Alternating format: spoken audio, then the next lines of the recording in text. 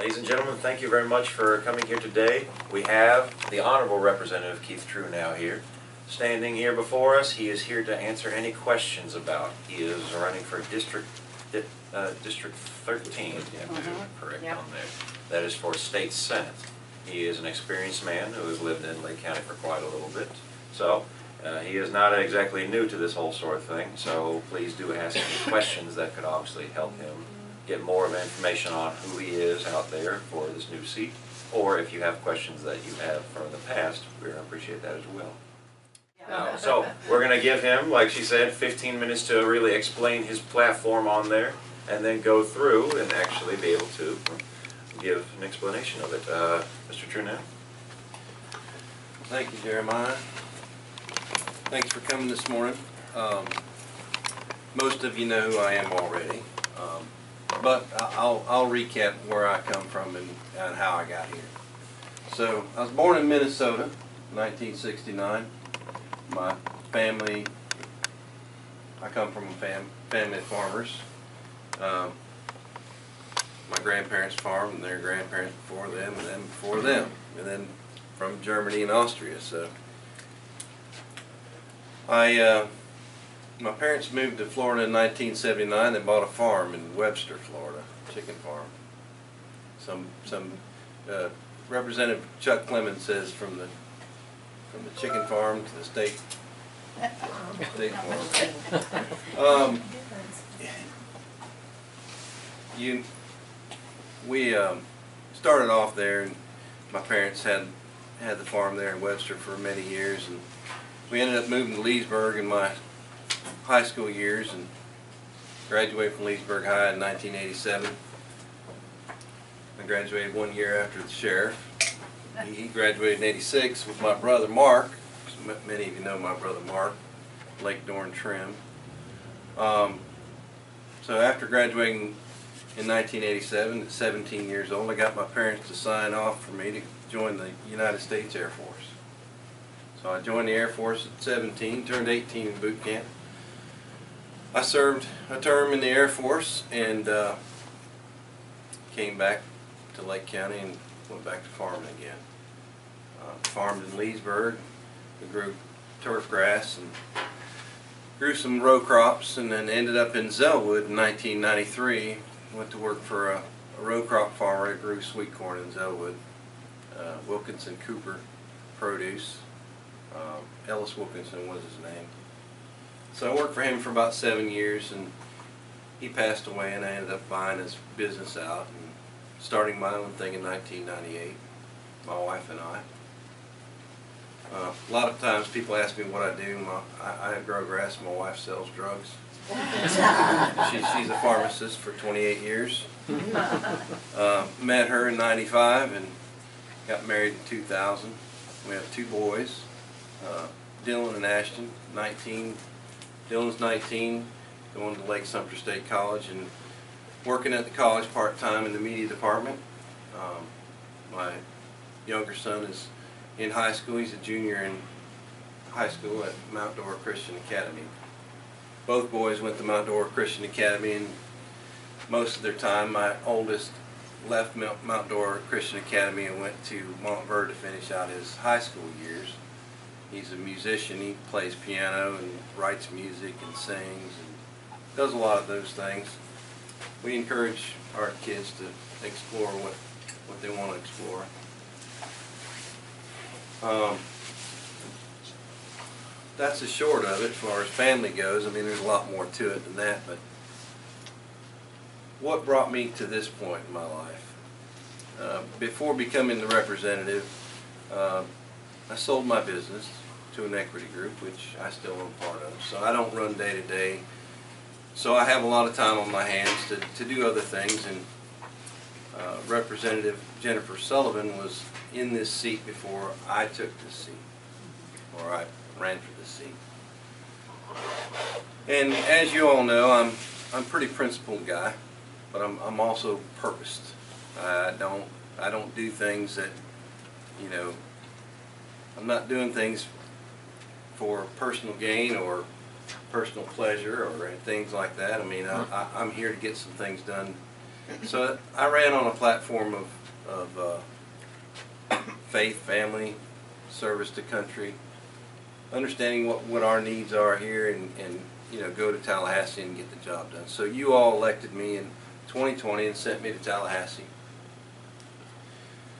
And in those four years, I think we've accomplished great things. I mean, there's always room for improvement for a host of things, and we chip away at things every year to, to make things better. And we can talk about we can talk about abortion and how we we got to the 15 week ban, and then next session we got to the six week ban. We chipped away at you know things that matter to us and life matters to us. Um, this 15 week ban bill's still in the court system trying to work its way through. So as as things go, you all know this is not an easy task to get things done, but that's just an example of how we chip away at getting getting what needs to be done done. Now, on the other hand, that- that that also leads you to a problem or an issue or some things to take care of when you talk about women and babies being born into this world. How many peop, how many babies are not born into this world because of the abortion rules that are in place today? And there's thousands, tens of thousands of babies that are born and not born into this world. Now we, we're going to get that opportunity to have those children born into this world. So we have to be ready for those babies to be born. And yes, it is the family's duty to take care of their children, but you know as well as I do, there's reasons why those people don't have children or are not wanting to have children. So we have to be ready to make sure we can accommodate for them and we can help support that family unit so that they have an opportunity to take care of that child. So in the last couple of years, we've been setting, setting it up for that to come, right? So we set, set aside some money to take care of those mothers and babies. Um, and then in this, this session, we, we did it even more. It's in, in the Live Healthy Act that was passed this year. So if you read that, you'll see a lot about birthing centers and how we can help manage what's coming because I think that's the most important part.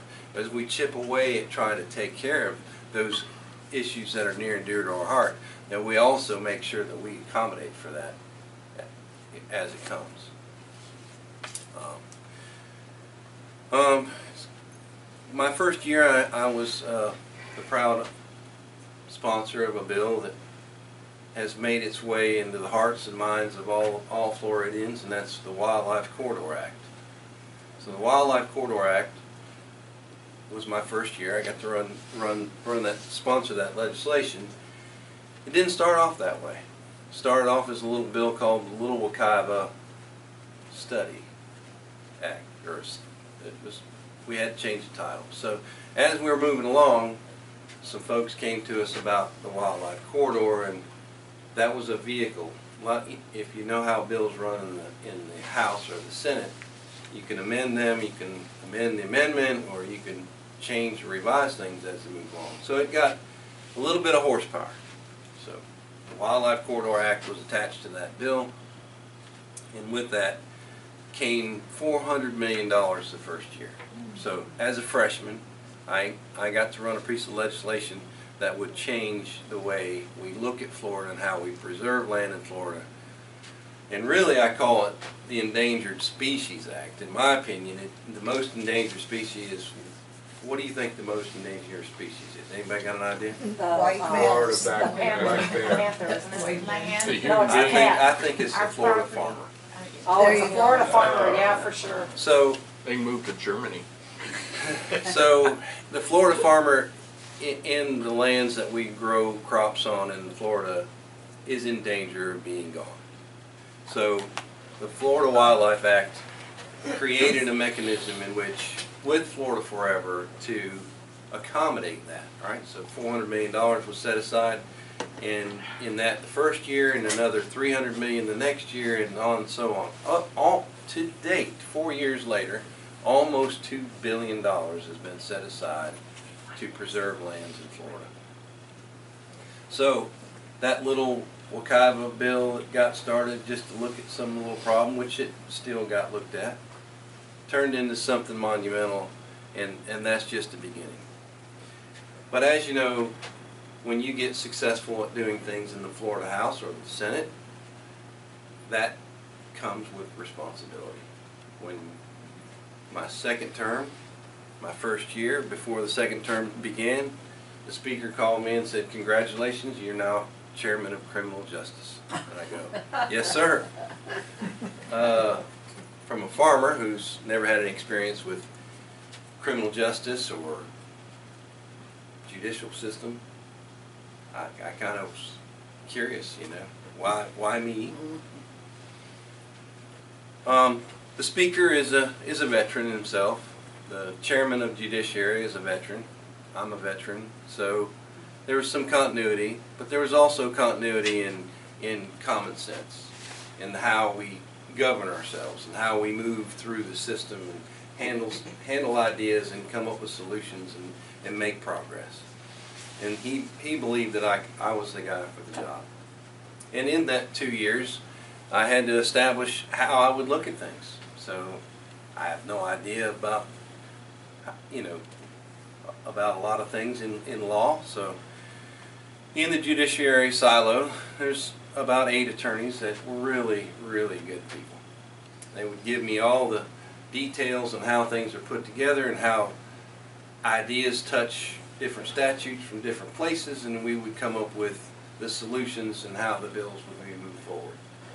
The most bills of any committee in the Florida House, or any committee, period, is criminal justice. Hmm. This year alone, we had over 120 bills come across my desk, and I'm the first line of defense. So anything that came across my desk, we had to, we had to engage and decide whether we move that piece of legislation forward or not. So, as things go, 51 pieces of legislation made it through the committee and on to the next committee.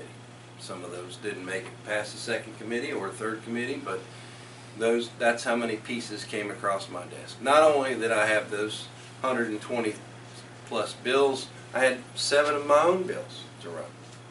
So I had ideas that needed to happen there. So a lot of, like I said, when you become successful in the Florida House or the legislature, they give you more responsibility. And if you're up for the task, you accomplish it or you don't. Meanwhile, I, I worked on a lot of other environmental pieces over the years. One you're all probably pretty familiar with is the Lake County Water Authority, changing the way the trajectory of a committee, that, that special district was set up and, and put it back under the Board of County Commissioners, which was a huge undertaking, as you know, seven elected officials now not there anymore and, and, you know, changing the way we do business with the Lake County Water Authority. Mm-hmm. Um, reducing the amount of money we spend and, and, and putting the burden back on the state government for their share and then the Board of County Commission because they, they are the people that, that control the budgets, right, for the, for the county, so. A lot of great things have come from that. The Parks and Rec Department has taken over the properties and, you know, made them more accessible for all of us. And in, in the end, they've done, made some adjustments in, in their, how they run the NuRF program out at Lake Apopka, and that's been highly successful in reducing the cost by about half.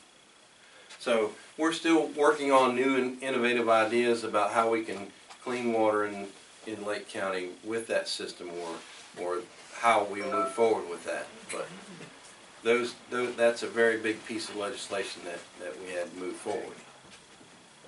Going back to, going back to uh, criminal justice, you know, in criminal justice, we had, we had some Second Amendment right bills that came through my committee. Uh, you, you, you guys all followed them. You, you even sent me up a, a piece of paper telling you what your, where agendas were. And you know that out of the four gun bills, three of those bills were agended in my committee and passed through my committee. Um, Not always do we get everything we want when we, when we work on legislation, but we, we work hard to figure out what the best route is and get the momentum to make, make policy move, and we did that. What I will tell you is, I, I'm here to uphold the integrity, the professionalism, the dignity of, of the office, of the office of representative or the office of state senator. I mean, I'm here because I believe that, that the, the level of experience that I've had over the years, good or bad, failures, successes, all help us make better decisions in life that affect us as people, family, children, property, businesses, all those things that make things grow. I mean, there's so much that we've done in the last four years that we've accomplished that are so good. Not, not that we've accomplished it all, because we haven't. There's more to be done. But I think that, uh, I thank the leadership in the Florida House for recognizing me for the, the skill set that I bring to, to the legislation, legislature. Um, and you know, I, I can't say enough. I mean, I think that we've been surrounded here in this county for the first time in many, many years with a delegation that works hard for us. Spends more time than any previous representatives or senators that I've seen in a long time.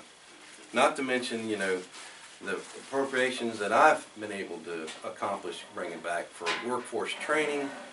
Um, Lake Tech College, I brought back sixteen million plus for that workforce program. Lake Sumter State College just last year, seventeen point five million dollars for their workforce training program. And then this year established in the legislature a hundred million dollar grant block for alignment of workforce training from pre-K through 12 through VOTEC and Lake Sumter College system to line up. So if any of those entities want to pull from that grant funding, they can pull from that $100 million grant funding to help align so children, as they grow up, can figure out what they want to do. Not everyone needs to go to college right away. These things, these tools are in the toolbox to get them started in their life to be safe, productive, family, children producing folks. I mean, you know, our next business leaders are coming out of there. So, I'm, I'm humbled to be your representative. I'm happy to be here. Um, I don't take this lightly and not one bit. I, I, I go to work every morning. The chairman of judiciary, uh, Tommy Gregory would say, between seven and eight's Truenow hour, because I'm the only one who shows up at seven o'clock every morning, because I, I like to get my day started early and figure out what, what my plan is. But with that, we'll go into questions. That's awesome. Thank you very much, sir. I say, a farmer and you definitely got you waking up early more than most people would be. Can I say something right off before Of course, sir. questions? I, I was at the town of Ethel over near the Wekiva River that was brought up between Lake County and the state. And I was told, and I was so impressed that the state has helped with Lake County and Orange and Seminole to, uh, preserve forty-five thousand acres over in that section for Flo- Florida and for us. And so that is part of what he was saying about preserving the land, and I think that's a great thing. It's a wonderful, it's old Florida, it's wonderful, and I thank you very much for what you've done on that. yes, ma'am. Absolutely. Well, to, to that end, there's a line item appropriation that made it through for Apopka. Not that it touches us in Lake County, but it does touch us, meaning preserving the corridor. There's a piece of property, uh, it's, it's the Wekiva Ocala Greenway acquisition. And, and it's in front of the governor for two point five million dollars. Wow. Nice. great, Nice, that's very nice. So in appropriations wise, not just for, for Lake County, but I, I did some other things, feeding Florida and, and those things, uh, making sure that people have something to eat. All in total, we're at twenty million dollars from my silo. So I've been blessed, again, responsibility, the things that you do, this is what happens. When you, when you get, when you get that done and you work hard for the people of Florida, you get rewarded. And we've been rewarded for four years mm-hmm. straight That's right. on appropriations coming back to Lake County. Yeah. And Representative Yarkosky's here now, but Yes, he is. the delegation that we have is super strong, and we, we work really hard to get this done. Thank you.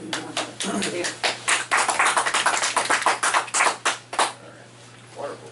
Well, we will get to the questions now. I know I was a little jumping the gun on the last one there, but thank you very much. It's a good, it's a good thing to have explanations of what's actually happened up there. Most time, a lot of people disappear into the wind, and then you don't know what the heck is going on. You hear stuff from the social media and such. It's good to actually have people relaying what's actually going on, that sort of thing. Thank you very much for your efforts, sir. Uh, well, so for actually speaking on those efforts, so the first question we have is, did you file or co-sponsor any Second Amendment protection bills, or any Second Amendment bills in total? Yes, I did, all of them. So, I mean, you want specifics on which ones? I mean, I can give you specifics. Oh, yes, sir, if you could. Yes. Don't worry, you're not too much on the timer on that.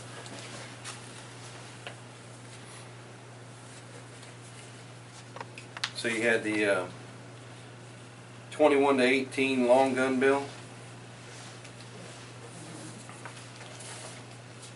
And by the way, Keith and I both co-sponsored all this stuff he's getting ready to talk about. You know, we made sure we were standing strong as an entire county on anything to do with constitutional rights. So we had that was HB two, one, two, two, three, that reduces the age from twenty-one back, I mean, re, yeah, back to eighteen. And, and that was, that was part of a bill that was the Marjory Stoneman Douglas bill back in seventeen. And that's before schools were hardened off and things were put in place to, to protect schools. So that bill, uh, made it through the House, off the House floor. Uh, we also uh, co-sponsored HB 17, the three-day mandatory waiting period. If, if you go to purchase a gun, you have to wait three days. If, if, if the government doesn't get back to you within those three days, you are authorized to pick up that weapon. And if there is a problem, you have to return it or someone's coming after you. Um, uh, HB 485 with this bill talks about if you if you're in some kind of if you're in an accident, let's say, and you have a weapon in your car, and, you, and, the, and the police officer takes that weapon and and it tells the, the sheriff's office or the police office that they have to give it back to you. Good. They can't keep your weapon. It's your private property. Yeah. If it wasn't used in the act of a crime, you have to get it back. Yeah, but they all died, didn't they? I don't know the answer to that. So the, yes. But in criminal justice, we didn't just pass gun reform bills, we passed constitutional, constitutional bills such as if you're a person who molests a child twelve years or younger, twelve, right? Yeah, twelve or under. 12 or Raping under. a child at twelve or under, you can now be put to death in Florida. Good job. And we're doing the first bill, you know, that's the one thing that I wanna say about Keith, um, under his leadership in the Florida House Criminal Justice, and I got to serve on that committee, um, with Keith and, and see firsthand. Um, I, I, I just told a bunch of folks last night, we were speaking with the sheriff at an event. We literally, under Keith's leadership, we created what I call the bookends in Florida, and I got to run one of those bookend bills this session. Last session, uh, Representative Baker and Senator, um, Jonathan Martin ran the bill that the governor signed, that if you rape a child under twelve years old, we can now put you to death. In Lake County, Bill Gladson, our state attorney, is seeking the first death penalty case pursuant to that bill that that man produced out of criminal justice and the governor signed. So we're saying in Florida, you mess with our children, we're either, we're gonna put you to death if you rape them, going all the way to, this session, we passed the grooming statute, we're the first state, state in the nation to now have a statute that says if you're intimidating, manipulating, isolating children as a coach, as a, as a pastor, uh, whatever's going on, a lot of family members, you don't even have to cross into a lewd and lascivious already crime. We can now convict you and, and sentence you to felony and put you on the sex offender list for grooming those kids and preparing them for the, for the catastrophic sexual crime that's coming, whether it be for commercial purposes or personal purposes. And that is what we did under Keith's leadership, is we said in Florida, we're the number one state now. You, there is no gray area in the shadows of messing with our children. Good. And that's the best thing we could, if, if he and I get nothing else done, That's awesome. no one will ever take that away, and Florida is a better state because of that. Yeah, totally good. Hands No, down. You have a cheerleader. You have a cheerleader The back here. UK would really love that That's bill. awesome. Oh, yeah. awesome. Yeah. I mean, you know, you look at, we, we set the pace for the rest of the country in, in mm-hmm. many different ways. But I want to tell you about that bill. That bill started before, before committee weeks. That bill was still being worked on the very last week of session. Mm. It took a lot of bandwidth, a lot of people, a lot of time, a lot of mm-hmm. effort to get that bill to the landing page. That's awesome. Um, so we worked tirelessly. I mean, the last week of session, we spent lots of time walking back and forth from one, one house to the other. All right. Wow. Well, thank you That's very great. much, sir. I Thank- think Thanks for doing that. Indeed. Uh, Thank you very much. That was a wonderful answer for it. All right. And next, uh, there's also a question. Did you file or s- co-sponsor any voter integrity bills, sir? Voter integrity bills, yes. Due to elections and such. Yeah, we, we, we passed legislation that, that tightened, um, voter registration. We also, we, we, the most significant thing in that, to me, was you don't get a mail-in ballot anymore unless you request it. So this ballot harvesting nonsense is, is, uh, put, put to bed with that. Wonderful. And, well, there's a, uh, what is it here? There is also, let's see, oh, this one. So, this one's more of a uh, local one on here, obviously, to the Second Amendment election integrity. The continued economic growth in our region is currently threatened by skyrocketing property insurance rates and ever-increasing strain on our current infrastructure and resources due to unbridled development in Lake County. What ideas could you bring to the table to relative to these concerns? Well, I mean, in, inflation is a big, is a big factor in all that. Property insurance is, is a big problem. Now, we didn't get here overnight. Property insurance has been a looming problem for Florida for a very long time. Citizens property insurance was created way before we got involved, way before some of us even remember. Nineteen ninety, Um, nineteen ninety-four. Wasn't that Charlie Crist? It was in the mid-nineties, I think. Well, That was Crist, the year I was Crist born. did not, did, did not bring it forward, but Crist, during his administration, expanded it greatly, which, which, cr- it's like the housing bubble back in the late nineties. The same problem with expanding citizens is a huge problem. Currently, we had, in the last year or so, we've reduced the number of, of policies with citizens about two hundred thousand plus, maybe a little more than two hundred thousand. What we need to do is reduce citizens to what it was intended for, and that's for people who couldn't get insurance. But we're all subsidizing citizens, which causes all our rates to go up because you, every, every insurance bill you have, you have a little, little fee at the bottom of it. So citizens itself has to be, has to be worked on. I mean, it, it, it's one of those elephants in the room that, that has to be dealt with. The, the good thing is seven, seven new companies have been introduced in the state of Florida in the last six months. And they bring about one point two five billion in, in assets to cover some of these policies that are being taken away from citizens. So we're, we're getting to where we depopulate citizens with the new, new, uh, new insurance companies coming in. Are they funded though? Yeah, they're is, They, I went through that and they weren't funded and the company collapsed after they couldn't pay out, uh, Th- There's on been a, their bu- there's been a lot of those, for sure. And There's that been a was lot that have from collapsed. citizens that did that. Well, we did some other things this year as well. Uh, My Safe Florida Home, you know, we, we, in twenty-two to twenty-three, we put forty, four point, no, four hundred and thirty-three million in funding increase to, um, harden your homes. In twenty-four, we, we put some more money in that, two hundred thousand. And also, we increased hurricane and windstorm resiliency statewide, and then we increased the number of homes that qualify. So you have to qualify for the program to get, get those, those funds, those grant funds, but we see a reduction in the insurance costs because of that. The the reinsurance folks love it too, because now they see a, they see that hardening off of these, these homes as a reduction in cost and payouts, right? So if something does happen, it's not gonna be as destructive as, uh, as it could have been. But we go back to last year, twenty-two, twenty-three, the tort reform package that was passed was monumental. I mean, we had a bill, we call it the omnibus bill, that went through, and we had hundreds of attorneys file as lobbyists against the bill. But we passed a bill that will change the outcome of insurance for decades. Now, it's gonna take a little while to trickle down.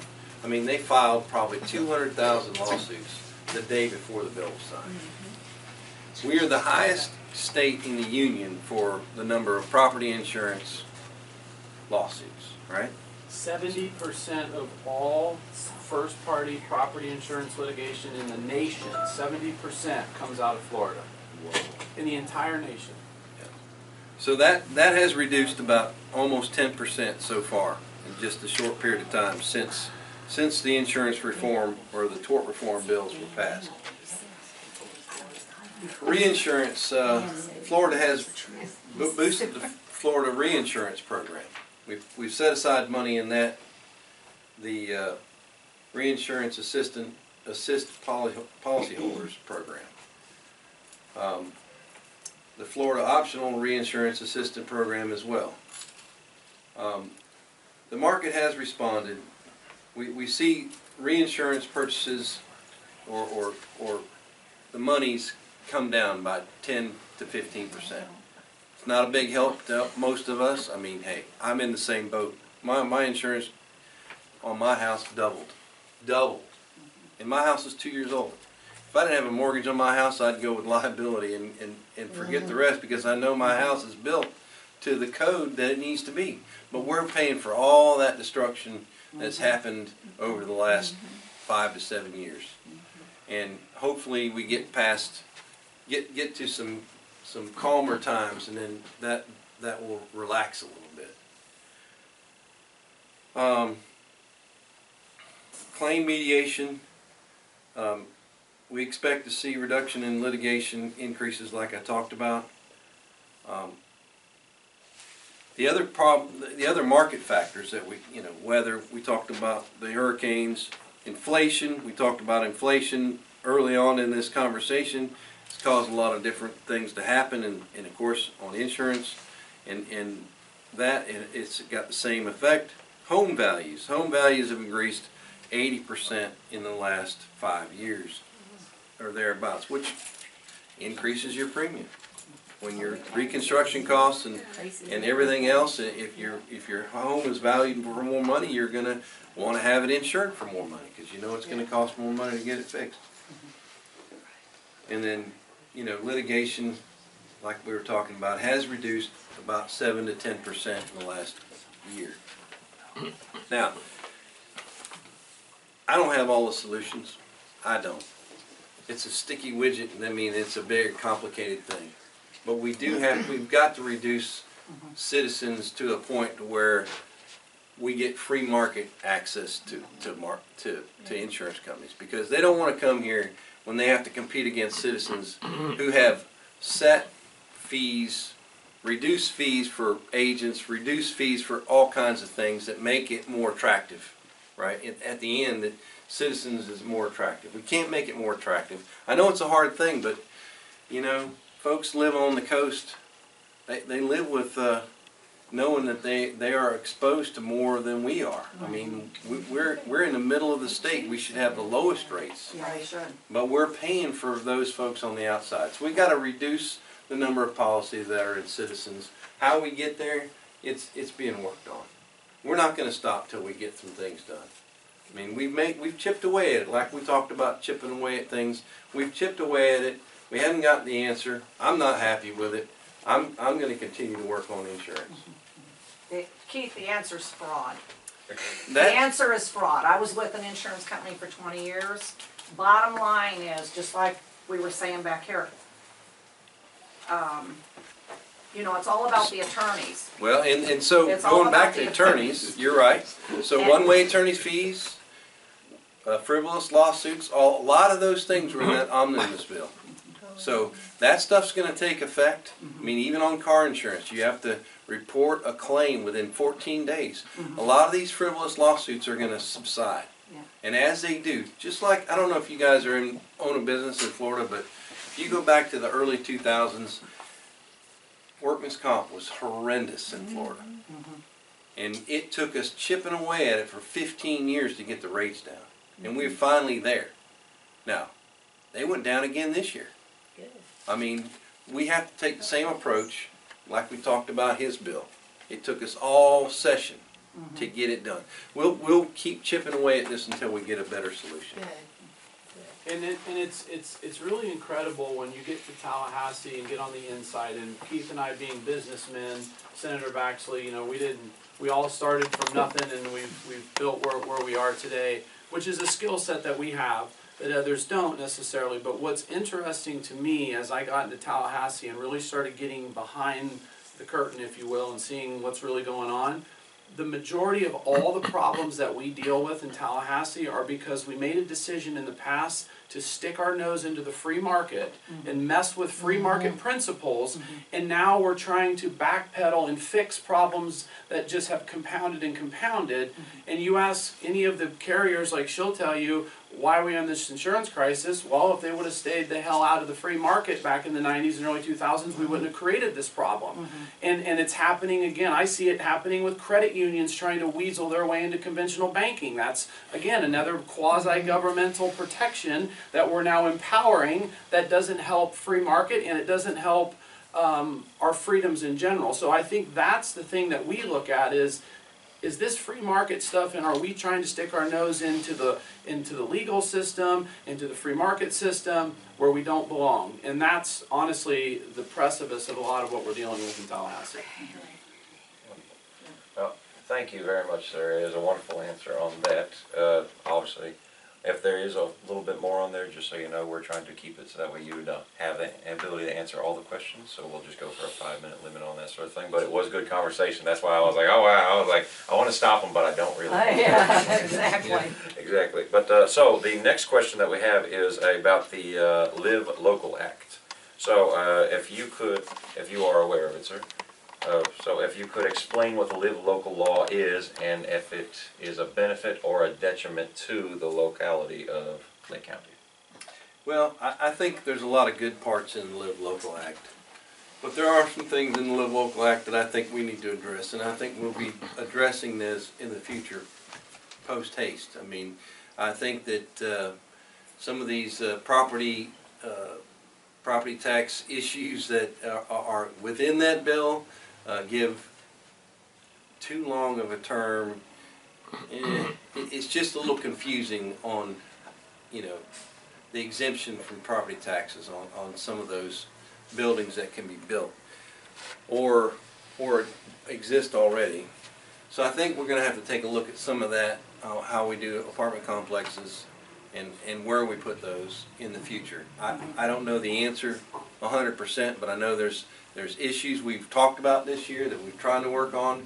We're just trying to let some of that stuff play out and see who the bad actors are, cause you know, sometimes we put a piece of policy in place and we really don't know what the cause and effect is a hundred percent. But we, I think that we'll, uh, we'll be working that. I, I think he left out points that I made, which is that these developers don't have to warn anybody and then come in and build something. And then the neighbors don't even know it and bam, all of a sudden they've got a maximum height building with maximum density without any requirement to look at road issues or anything else. Yeah, that, and that's a good point. I mean, And like I that's said, what needs to be looked at. I, I agree. Tavares already had a developer threaten them with that Yeah. and, uh, they're facing And now. they're, and they're rightfully so, they can do it under this bill, so there are things to be worked on for sure. I mean, there were some places that needed the help of this bill, you know, such places like Miami-Dade and different, um, high-density areas that they could repurpose some, some, uh, light industrial land for, for use in, in housing. But you're right, we don't need that here, so we need to make that a priority moving forward. Well, That knocked out about three cards, thank you very much, Mr. Vance. All right, that one I got on there. All right, so, uh, let's see here, there's another one on here, so we have. So I'm trying to keep them obviously in a kind of logical order on the conversation that we have. But since we have this sort, uh, so regarding the local justice and court system, they are currently out of control, allowing opposing attorneys to constantly make costly motions and bankrupting parties. For example, a child custody lawsuit to run five to ten years and not paying the court costs borne by the taxpayers. What can you do to possibly alleviate that situation as it comes around, sir? Well, I think that, uh, that's a question I don't know a lot about at this time, but, I mean, if, if there's real issues that need to be dealt with, we need to bring them forward and then find, find some people that can help us with the answer. But yeah, I mean, I will say this, you know, as a representative or even as a business owner, you know, at twenty-three years old, I went to work for Ellis Wilkinson, right? I didn't know a whole lot about a lot of things. At 23, you're pretty young. You don't have a lot of experience. You don't know how to make some of the decisions you need to make. But someone found it in, in me to hire me to be a general manager. So I said, well, how am I going to accomplish this? Well, I accomplish this by surrounding myself with people who know more than I do. Mm-hmm. And I got through what I needed to get through.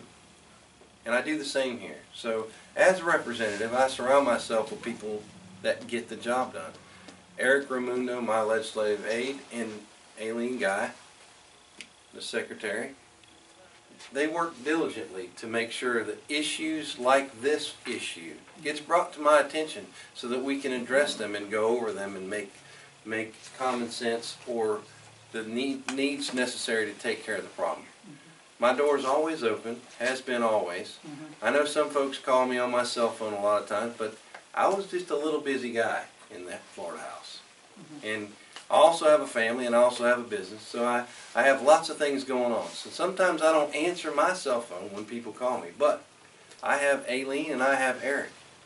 And those people uh, work diligently to make sure that any constituent questions that arise, we're taken care of and, and dealt with.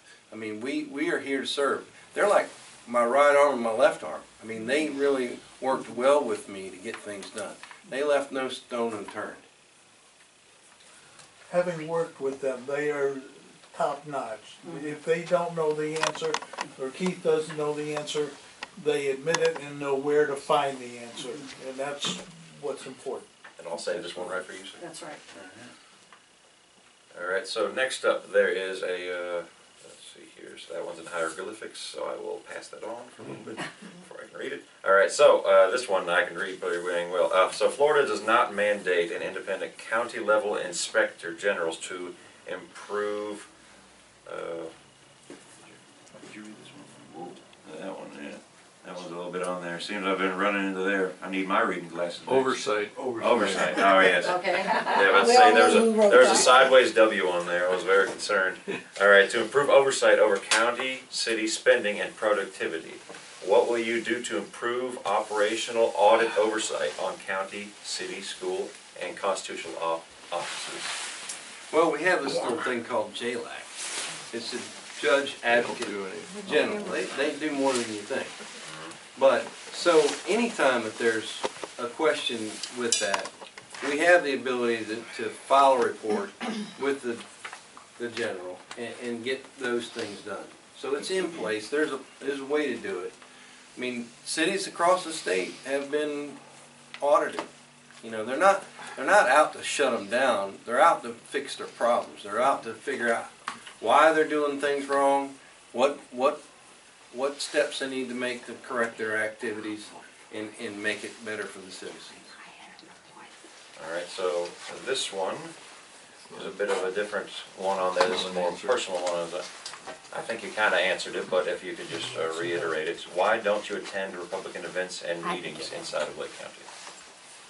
Well, I, I attend a lot of Republican events, maybe not inside of Lake County as a whole, but, you know, being in Tallahassee and standing here and, and doing the things that you all wanted me to do, I, I devote more than my part-time job in this job, in this role.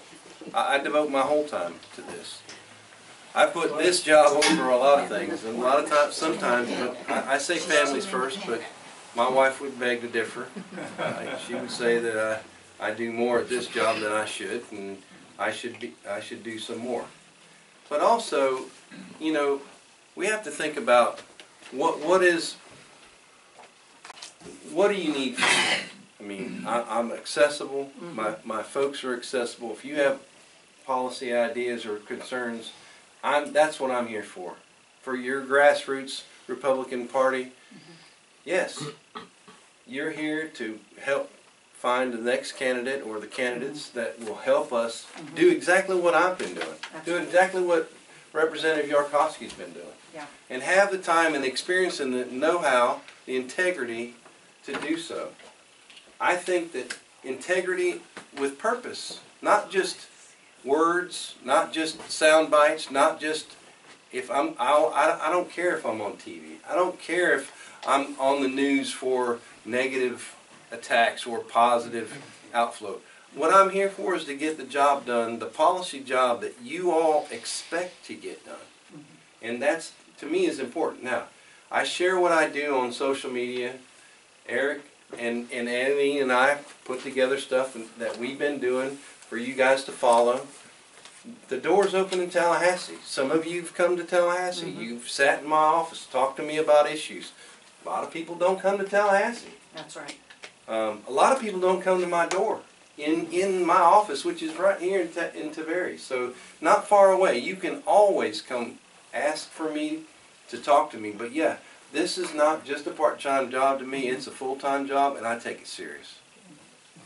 Wonderful, thank you very much for it, sir. All right, uh, so speaking on your priorities and such, what is, when you are elected, what would be your number one priority and why? Well, I will continue the priorities that we have set forth in the legislature in the last four years. Like I said, we're gonna tick away at making things better every day. I'm not gonna change my MO. I'm here for the family farmer, I'm here for agriculture, I'm here to protect the environment, I'm here for businesses to stay open, I'm here for families and children and all the things under the sun. We, we touch every aspect of life in the legislature. That's why we're number one in this country. Mm-hmm. That's why we lead in every which way. Doesn't matter. We're making headway in, in all aspects. And I'm engaged with all of my members. Mm-hmm. I'm engaged with Representative Yarkosky and I'm engaged with the Senate.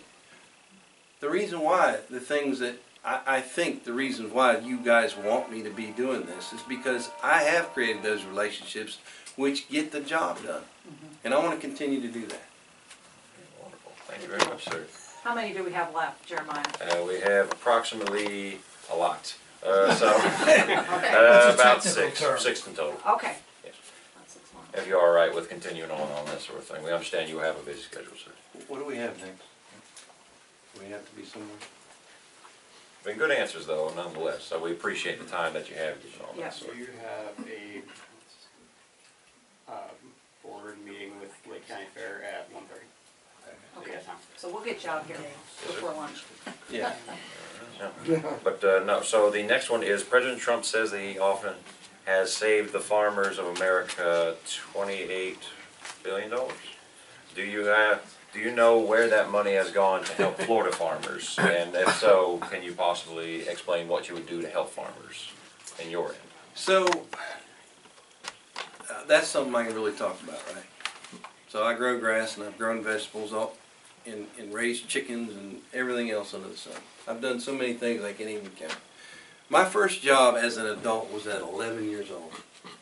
When I was old enough to hold a five pound scoop and feed chickens, I got up every morning before I went to school. I fed forty thousand chickens. My brother Mark fed the other forty thousand chickens, and we would go to school and come back and do it again. Oh, that's a lot of chickens. Seven days a week, right? Wow. I fed forty, he fed forty, so eighty thousand. Hand feed, hand pick. So moving on, as I go along, I, I got on the Turfgrass Producers of Florida board. I sat on that board for 19 years. I was vice president for nine years and president for three years. 2017 came along. Hurricane Irma. You know, it went right up the state, from one end to the other. Mm-hmm. Caused a lot of damage and destruction. As president, I think at the time, I think I was, I was maybe just past president. President Trump, Sonny Perdue, Secretary of Agriculture for the USDA, Adam Putnam. I get them all on the phone at the same time. They're in a meeting somewhere, and we're talking about the destruction that we had in agriculture. And we secured, after those meetings and getting the data together, we secured about 2.3 or 2.4 billion dollars to restore farms in Florida after that hurricane. Mm. So my efforts, President Trump's efforts, agriculture in Florida is a little strange when it comes to subsidies.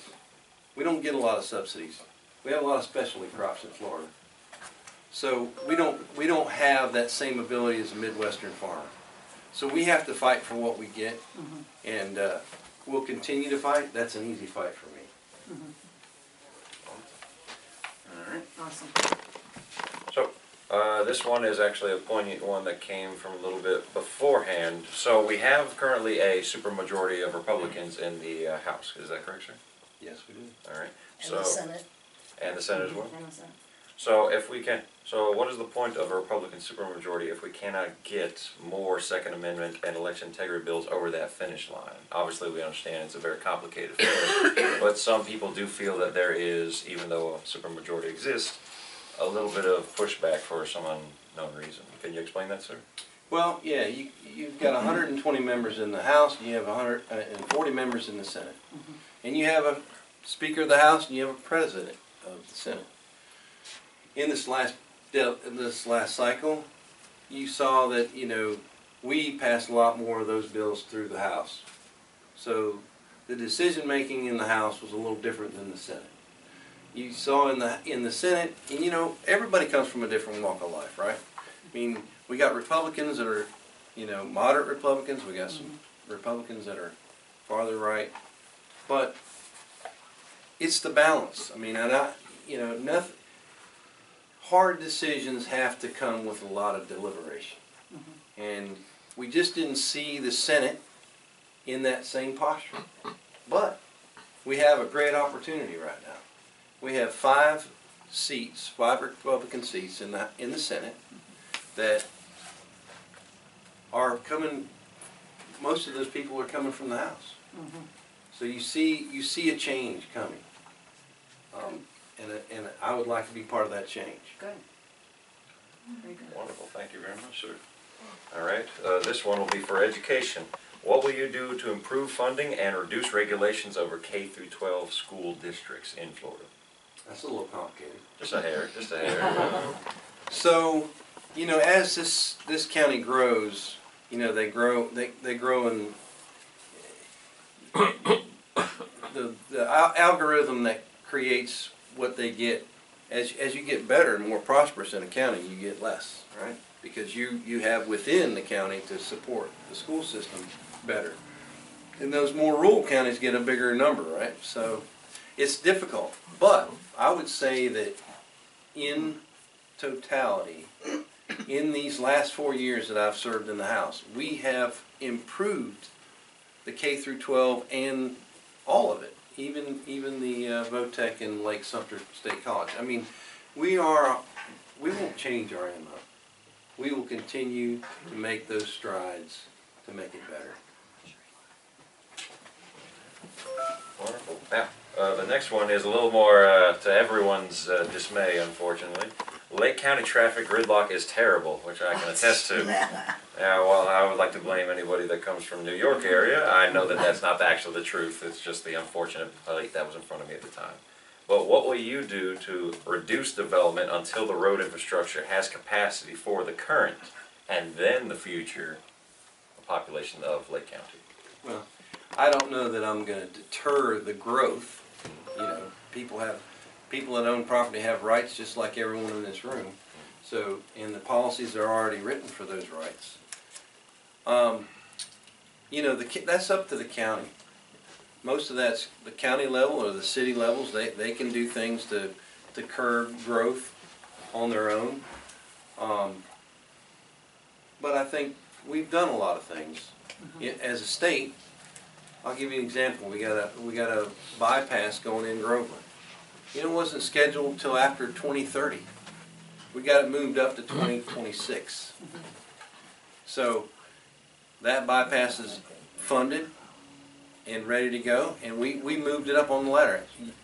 Uh, Representative Yarkosky and myself and, and Senator Baxley moved that up on the list. Those are things we're gonna get done from the state level that matter to us. And we have those discussions with DOT about what do we think, what do we think we need in, in state roads moving forward in, in Lake County? And, and we're, we're having those discussions regular. The DOT secretary and I have a good relationship. All right, uh, so this next one is bringing experience to bear. Having been a member of the state delegation for four years under the leadership of Senator Baxley, how can that experience benefit not just you, but also the citizens of District thirteen? In other words, what specific advantages do you have as a freshman senator that your opponents will not enjoy? Well, I'm a farmer, number one. The next president of the Senate will be, a- is a farmer. Hmm. Senator Ben Albritton is a farmer from Wauchula. He's a citrus farmer and many other things. So, we, we have a, we have a relationship that is pretty deep. So that puts me in a very, very good position moving mm-hmm. forward. Mm-hmm. Because I bring that level of experience to the Senate that will encourage all the things we talked about here today. But on a, s- a, a- a- a faster track. Mm-hmm. Um, again, like I said, the experiences that I've had in the House, the, the successes give me responsibility. They already know what I can do, they already know what they're gonna have me do. Mm-hmm. And it's not gonna be sitting around twiddling my thumbs, mm-hmm. waiting for the next move. They are, they already have it scripted. They already know what they need me to do. So, with that, I will say this, Senator Baxley, I, I would say the one thing I get from him more than anything is, he is a very good encourager. You can sit in his office and talk about issues and have dilemmas and have woes or concerns, and he'll sit there and help you figure out how to get to the next level. He's been great at it. So he's been the calm, collective, uh, president pro tem. He's been great. He's been a great man. He's, I mean, come on, let's, let's look back at his time in the House himself.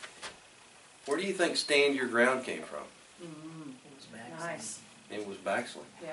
That's nice, right. Yeah, it's a good I mean, mentor. we have a delegation over the years that have stood up for people, mm-hmm. real people. And he stood up for, for children with disabilities Yeah, through the years. In my appropriations, in the last couple of years, we've done numerous children's functions for children with disabilities. Beacon College got some money, Jonathan Lanning got some money, Special Hearts Farms, all, all kinds of things that we, we talk about bringing all these young people into the world, all these newborns. Well, you know, you know what that does. You're gonna, you're gonna end up with folks that have needs beyond normal. that's right, And we gotta be ready for all that. Yeah. And, and I'm gonna take that torch that Senator Baxley had, and I'm gonna carry that with me. good, good. Yeah, he's a very good one. Wonderful. Thank you very Yeah. much, sir. Uh, the gentleman that just left is married to the mayor of Howey in the Hills, and he just wanted to state that they're working very hard over there to get you elected. Well, thank you. Wonderful. Well, I wish they'd finish Highway nineteen. Yeah, Well, yeah, take hard for that. they fix the traffic. All right, so this will be the last question, and it is a very technical, que- well, not a technical question on there, but it is a very uh, specific question on there. So Senate Bill 1295, it is a homeowners associations bill. Are you familiar with it at all, sir? Uh, there's been so many. What, what was the particulars? So if you, if you may, sir, especially on that. Yes, this was a bill that was uh, done by, uh, I don't remember the name, but it was a bill uh, that was um, B, SB twelve ninety-six to create a uh, ombudsman, uh, a body that can investigate homeowners associations uh, For fraud, waste, people- and abuse? millions of people are uh, living in homeowners associations, Uh-huh. and we have too many, too many problems. Yes. Yeah. And This bill was a very important bill that was uh, done by Mr. Burgess, I think. Yeah, Danny Um, Burgess, yes, Senator Bur- Burgess. Burgess, yeah. And this went to um, the committee and then they did not uh, uh, bring the bill for a vote. Okay, so, i- that does happen, right? Um, I had a bill right to the last week, myself. Made it through second reading on the Senate floor, made it to the third reading for a vote, never made it. Now, we, we only have so much time, mm-hmm. and, you know, we have, the House is a house of ideas, and the Senate has a lot less people and a lot more to do. That's where they go to die. Mm-hmm. Yeah, that's right. That's where they go to die. So, that, that bill won't die. That bill will come back next year. Thank you. It will. Because what we understand is that there are so many lobbyists that are being paid by the, the management companies, and they are lobbying in Tallahassee, trying to stop this That, kind that's a good bills. bill. That's a good bill. So, I think it passed off the House, yeah, no problem. yeah, it How was, many- but, uh, there's no problem. I can't remember who ran the bill on that. Was it? Representative, how many bills are filed and how many actually pass? Wow. So average bills that pass are in the two hundreds, maybe. Um, the bills that are filed, where there's hundred and twenty members in the House and they all have the ability to pass or, or sponsor seven. So hundred and twenty times seven. Eight hundred and forty. And that doesn't count all the appropriations bills or committee bills or, you know, there's all, all kinds of different kinds of bills.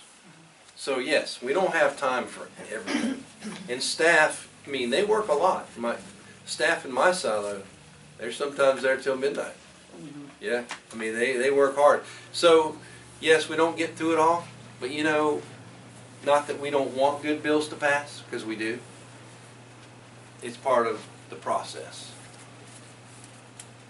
Yeah, unfortunately, um, we are, I, what my research shows that, uh, most of the homeowners associations, board of directors, they come from outside, most of the Democrats have taken the power in that, that area, and the homeowners are not very happy. No. So we need a good bill like this, because DBPR is not even taking complaints. They take ninety days to investigate, and another ninety days to, you know, have an interview, and Yeah. people are in trouble. Yeah.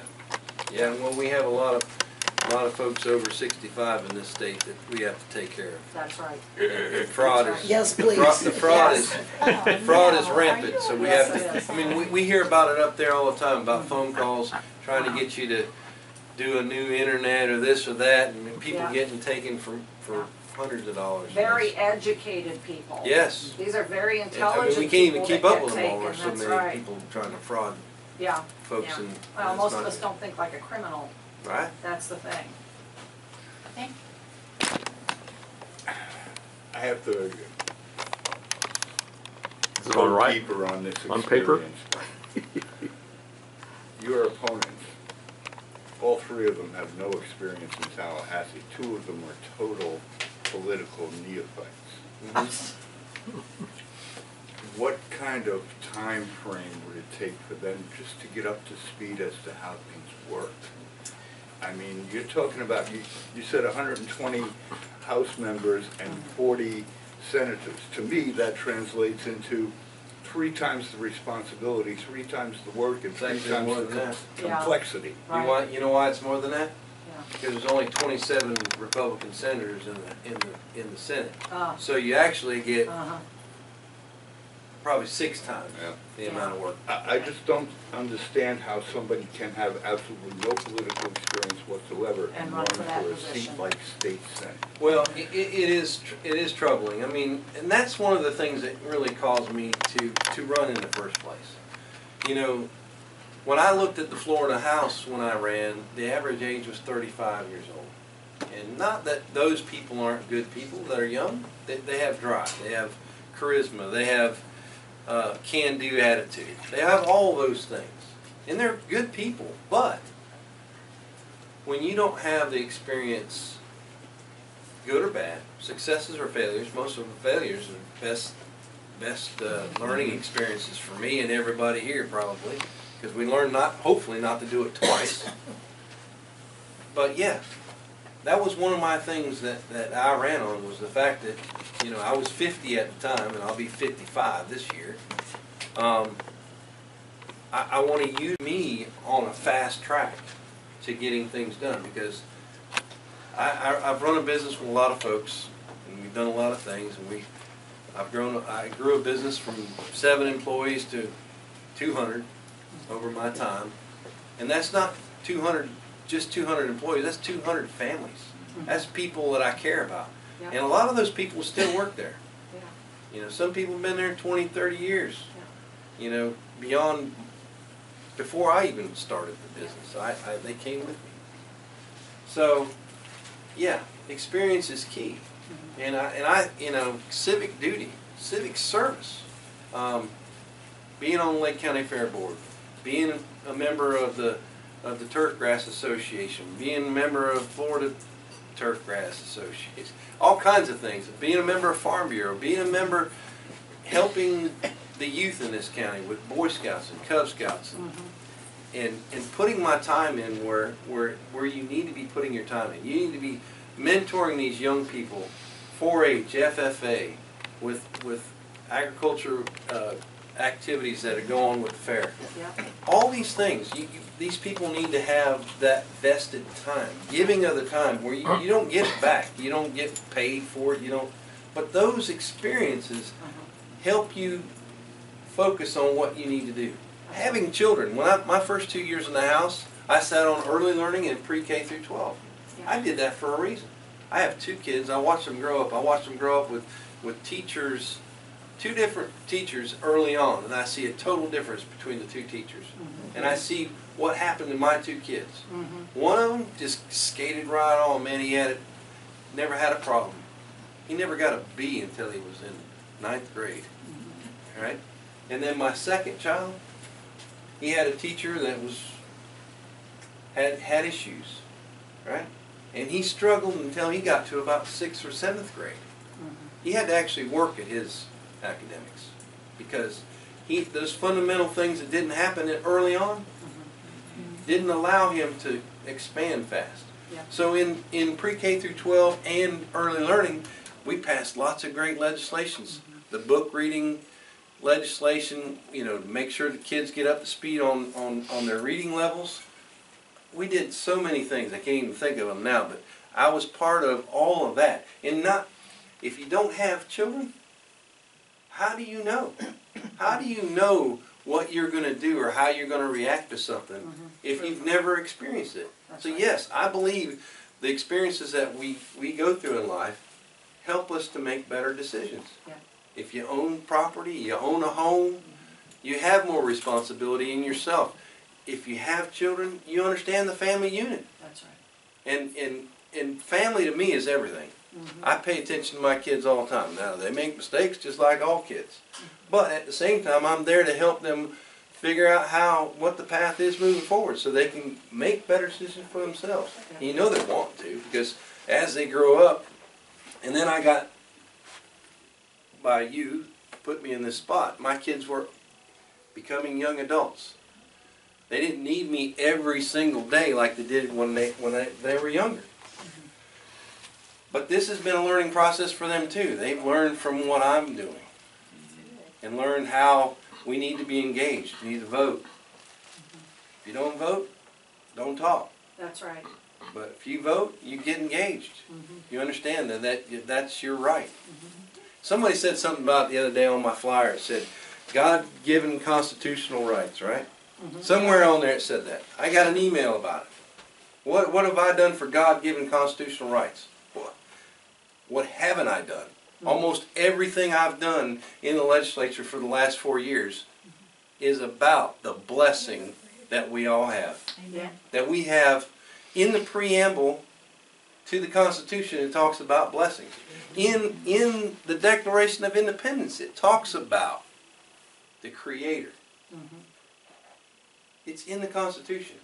And if people don't utilize what, what has been written and why it's been written, it's a problem.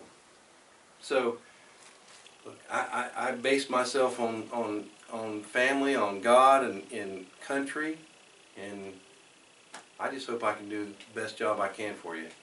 So if you if you'll uh, send me back up there for the Senate, I'd appreciate it. Will you be willing to stand up to leadership when they're really messing it up? Yes, ma'am. Like Passidomo did last time? Yes, ma'am. And I have those hard conversations all the time. And when I walk into a room and I know I'm going to speak to leadership, I sit down and I say, hey, I got to have a hard conversation with you. Okay. Don't get mad Yeah. because we work on the issue.